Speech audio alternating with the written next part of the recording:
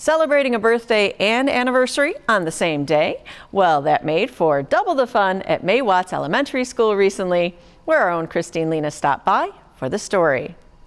30 years of educating students in Naperville makes May Watts Elementary worthy of a special celebration. We actually didn't turn 30 today. It happened in February. Uh, and that's kind of a weird story too because they took uh, the school and moved the entire school in February of 1989 when this actually opened up. Uh, so we decided to, to bump it to May so that we could kind of incorporate May Watts in it. Students and teachers, old and new, were invited to the school for a night to recognize 30 years of accomplishments and to reconnect with the May Watts community. I saw one little girl who I had who just got married. and She's showing me her wedding pictures, and I had a student who was a teacher because she came and did some observation in my class, so it's been very fun. Aside from checking out old photos, awards, and artifacts, it was also a night to remember who the school stands for.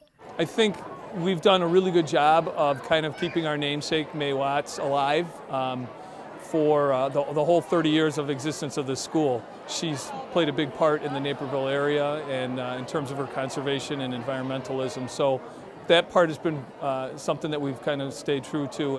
On the May 1st celebration, May Theilgaard Watts would have celebrated her 126th birthday.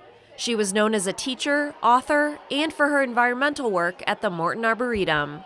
Reporting for Naperville News 17, I'm Christine Lena. Another fun fact about May Watts, the person, she helped establish the Illinois Prairie Path in the 1970s.